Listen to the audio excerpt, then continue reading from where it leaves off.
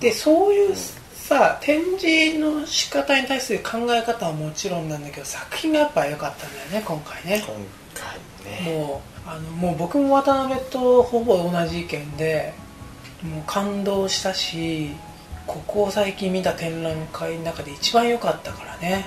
よかったもうですこれは絶対ラジらなきゃと思って。うん。特にその、ね篠原すね牛ちゃんのこのうん。作品をここまで肌で感じるというか、うん。まあ、この点数もそうなんですけど、うん。大々的なうんこの作品だから展示を見るのが僕今回初めてで、あ確かにギャラリー山口とかでやってる個展だったり、まあ、グループ展がまあうん常設展美術館の常設展とかでちっちゃいの1点とか2点とかそういうのは見たことあるんですけどなんていうんですかね今年で71歳だっけ？70過ぎてるね70過ぎてる。うん。おじいちゃんが言ってみれば、うん。ここまでねニューヨークで、ニューヨーク暮らしのおじいちゃんが、うん。ここまでやるかと。すごいね。あれはねうん。本当もう単純にだから、まあ、感動もそうだしね。刺激も受けるし、あと改めて美術って芸術ってこういうのでいいんだみたいな、うん。なんかそういうやっぱりパワーをね、うんもらえたかなもうまさにそういう展示だったんじゃないかなっていう。何もきお何もなんて言うんだろうな。気にせずに見れたというか、うんそうだね。完璧この2人の世界にどっぷり入っちゃったね、うん。だなんか作品を分析するとか、うん。批判とか批評するっていうことじゃないんだよね。ね。単純にもう見れて幸せっていうか、うん。あそこに行くだから本当に価値があって。価値があったね。東京からね。まあさっきも話したけど家庭も十分楽しかったんだけどね、うん。旅っていう家庭も楽しかったんだけど、楽それ差し置いて展示が良かったととにかく、まあ渡辺とはね一回その大阪へ一緒に行った時にあの中3の作品見てるからね。中三の方は。あの思い出深いところもあって、でそうなんですよね。中さん。榎木中さんもうんその、まあ、やっぱり関西の方で活動してるっていうこともあって、うん。なかなか展示をね見る機会がなくてね東京では。で今回あの、うん。今六本木でやってるね、うん。六本木クロッシングではとうとう榎木中さんのとうとうって言い方変ですけどね、うん。まあ、作品が、うん。でっかい作品が展示してますけど。うん。だからあれぐらいでね、うん。で意外に僕の周りはやっぱ榎木中さん知らない人があ多いんです、まあ、僕もこの大阪の個展でや初めてしこの、うん。ちゃ知った知ってであなおかつ、うん。矢野部健二とかがリスペクトするような、関西の大物うん。アーティストだったの知らなかったので、うん。なので本当に刺激を受けてで、まあ、今回のこの2人展ですよ、もう良かったですね。よかっ中さんのたね。この廃材のねうん。廃材鉄の廃材をね、加工して再構築するっていう、ん。あのやっぱりシリーズはすごい。見る人を黙らすね、うん。あの力はね。展示も良かったしね。よかったね。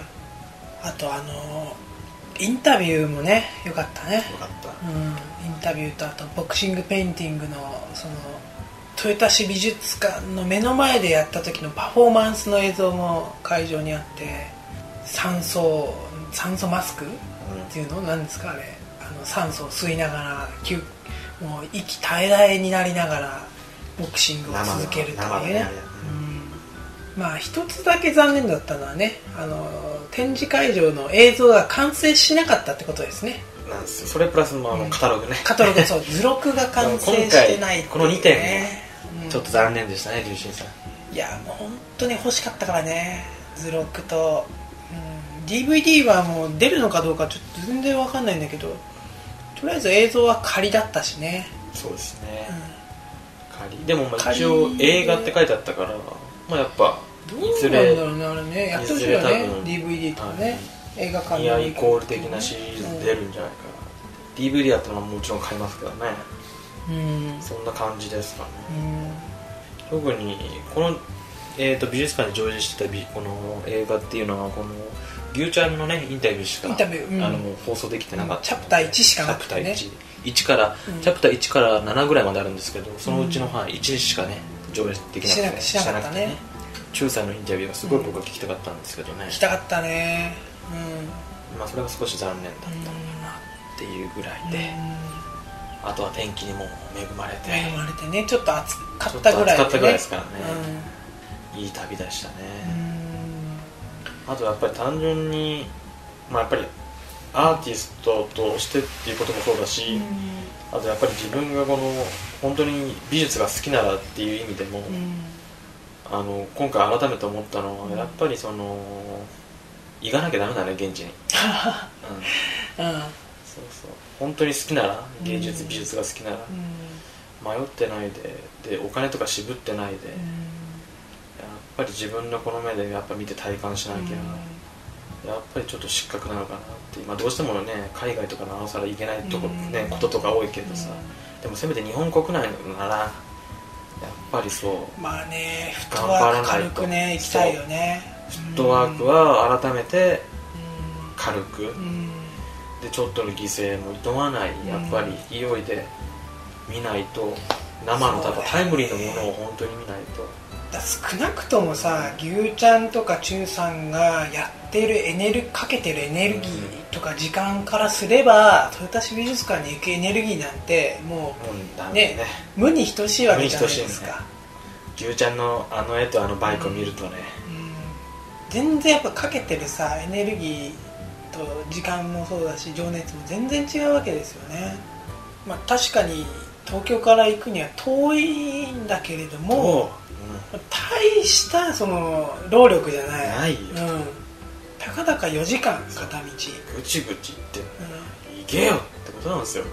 ん、だからあの作品ね何ヶ月よかけた時間ね。そうですよ。しかもさっきも言ったように、うん。牛ちゃんもチューさんもこのためにしの新作ですからね、うん。特に牛ちゃんのあの絵に関しては、うん。豊田市美術館のあの壁のサイズを測って作ってるから、うん。寸法がね。寸法が。うん、ちょうどあれはねね。あそこまでやるじいちゃんねいないよ今。日本で。って感じですよね。ニューヨークからわざわざ運んでてよ船で、ね。あれはすごいよニューヨークからだもん売れてる作家は確かにさいるかもしれないけどさ、あそこまでのエネルギーをかけてる作家日本にどれだけいるかって話ね。ですよね。改めてそれを目の当たりにできるっていうだけで価値があるよね、うん価値がある。うん。あとそのそう簡単にこの比べちゃいけないんだけど、うん。いろんなまあ問題や視点とかうん。意見があるからそ比べちゃいけないんだけど、この2人展を見た後にやっぱり振り六本木クロッシングの企画展を振り返ってると、うん俺はやっぱりもっとね、うん。頑張んなきゃいけないなとか、あと六本木クロッシングさんに出てる作家さんはもっともっと、なんだろうなそのなんだろうねその熱意っていうかあれが欲しいなっていうふうに思いましたけども、気持ちというか。この2人から比べちゃうとまあもちろんやってる表現の方法が違うからなかなか比較はできないんだけど、なんか物足りないなってまあ。改めてね、六本木クロッシングの方がなんかちょっと思っちゃったぐらいで、それほどこの今回この牛ちゃんと中さんのこの豊田市美術館での2人展は、まあ、最初で最後でしょうし、まあ、だからよかったな。本人たちの中でもねいわゆる代表作なわけじゃないですか、うん。今回の展示っていうのは。だから大きな意味があるある。あるよねそこにはそうなんですよ。で今そうそう思い出したけど今回のうんそうこの2人展は最後の大あの部屋にね過去の作品もね、うん。ちょっとあってうんそうだね。本当にうん。今までの作品っていうかあの、流れが分かるよううん。素晴らしいあの展覧会だったなっていう、2人の奇跡っていうかね、よかったよね。よかったね。なんかこんなさずっとベタも ベタもめモード？それはもうお互いそのねこの2人が好きだっていうのもあるけどでもまあね。でも、うん。確かにファンでは一ファンでもあるけど、でも本当にもうベタ褒めだよね。そまあね。んな、うん、悪いことってなかったよ、まあね。そこでなんかあえてさ皮肉言ってもしょうがないからね。しょうがないし、なん。かなかったかなと思う。な、